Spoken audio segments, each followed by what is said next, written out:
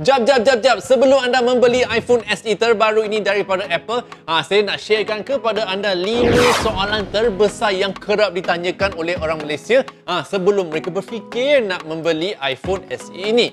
Jom.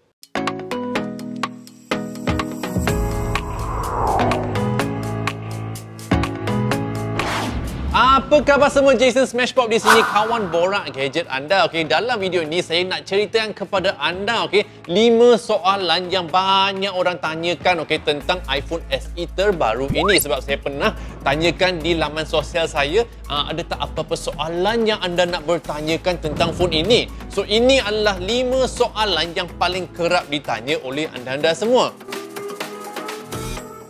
Soalan pertama, okey, iPhone SE ini rupa dia sama dengan yang sebelum ini tapi apa yang berbeza? Benda yang perlu anda tahu kan, okey, yang iPhone SE terbaru ini kini menggunakan chipset yang sama dengan iPhone yang paling canggih yang pernah Apple buatkan iaitu iPhone 13, 13 Pro dan juga 13 Pro Max iaitu A15 Bionic. Chipset ini adalah chipset yang paling pantas untuk tahun 2022 ini, okey. Dan dengan chipset ini, semua aplikasi akan berjalan dengan lebih lancar dan dengan cepat sekali. Termasuk performasi grafik, okey. Jika dibandingkan dengan iPhone SE yang sebelum ini, yang tahun lepas punya, ah benda ni 1.2 kali lebih cepat performasi grafik dia berbanding yang sebelum ini. Dan selain daripada itu, dia punya bateri okey juga telah pun dinaik tarafkan disebabkan oleh chipset yang terbaru ini.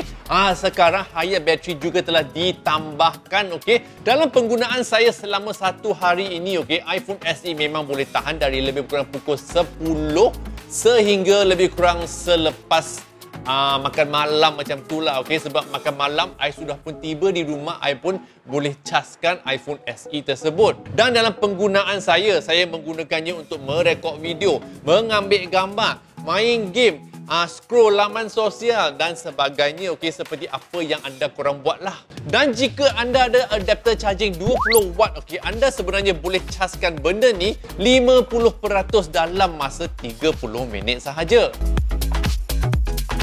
So banyak yang tanyakan okey soalan kedua kamera untuk iPhone SE ini macam mana? Nampak macam ada sebiji saja di belakang. Cukup ke? okey. Sebenarnya dengan chipset A15 Bionic ini, ha, iPhone SE yang kecil ini okey telah pun mendapat semua ciri-ciri kamera yang ada juga di iPhone 13, 13 Pro dan juga 13 Pro Max seperti Deep Fusion di mana kamera ni boleh menangkap butiran yang lebih jelas jika kita ada di kawasan yang kurang cahaya. Ada pula Smart HDR4 di mana ha, kamera yang sebiji ini boleh menaikkan okay, bayangan dan mengurangkan cahaya terang supaya gambarnya nampak lebih balance, lebih seimbang dia punya keterangan dan juga dia punya warna. Dan of course yang paling penting ciri terbaru untuk iPhone 13 kini juga datang ke iPhone kecil ini okay, photographic style ataupun style fotografi di mana kita boleh ha, menukar-nukarkan style gambar kita sama ada kita nak bagi kita punya gambar lebih kuning, ha, lebih warm ataupun lebih cool, lebih biru. Ha, jika kita nak kontras dia lagi tinggi ha, dan sebagainya pun boleh. Cuma tolak-tolak saja kiri kanan kita boleh setkan ha, tetapan tersebut sebagai tetapan gambar kita secara default.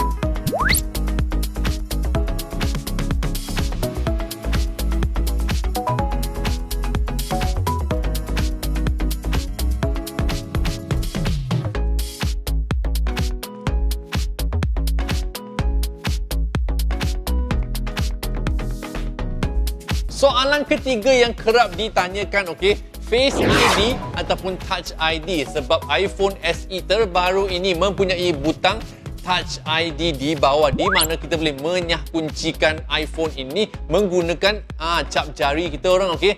Ah, pada pendapat saya, saya sukakan Face ID ketika saya tak pakai mask okey. Dan of course bila saya pakai mask saya memang suka gunakan Touch ID sebab Ah, confirm I boleh menyah kuncikan skrin ini menggunakan cap jari saya sebab saya pakai mask kadang-kala susah sedikit. Ha. Soalan keempat yang kerap ditanyakan, okey. Kenapa iPhone SE terbaru ini masih ada bingkai yang tebal seakan-akan ah, phone 90-an, okey? Ah, sebenarnya senang saja jawapan dia. Jawapan dia boleh ditanyakan dengan satu soalan. Kamu ada bajet untuk iPhone atau tidak? Ha, okey.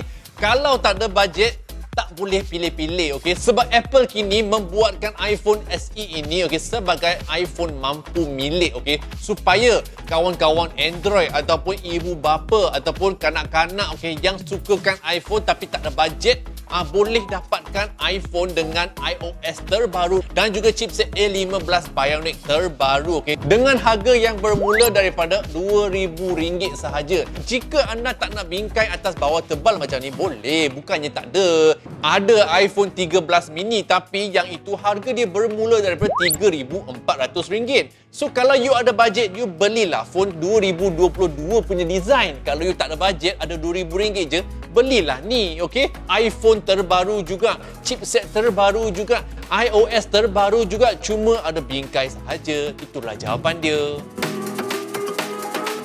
Soalan kelima adalah sangat-sangat subjektif okey sebab banyak yang tanyakan patutkah saya membeli iPhone SE ini? Patut ke tidak? Hmm, itu kena tanya dompet anda, okey? Ah, dompet-dompet, patutkah saya beli benda ni? okey? Kalau ada bajet, beli je. Kalau ada banyak lagi bajet, beli je lima buang kat kawan-kawan macam tu, okey? Ah, tapi saya rasa iPhone ini bukan untuk semua orang yang pro-pro, okey? iPhone ini disebabkan skrin dia kecil, okey? Ah, dia adalah untuk orang-orang yang mahu mencuba pengalaman menggunakan iPhone dan juga uh, apa aplikasi-aplikasi iPhone di sini okey? Bukannya semua profesional yang inginkan kamera ultra wide lah kamera zoom lah uh, dan sebagainya. So jika anda adalah first time okey nak gunakan iPhone anda boleh cuba try test ini sebagai phone kedua anda okey?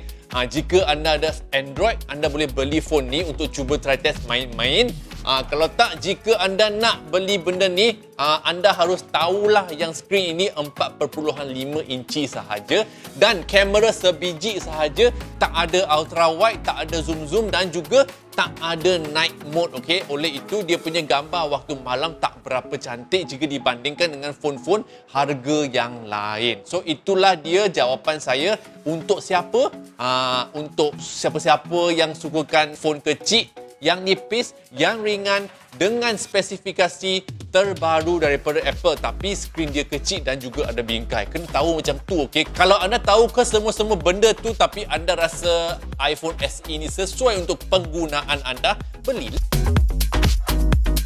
Okey, itulah dia borak-borak kali ini tentang iPhone SE daripada Apple. Okey, terbaru.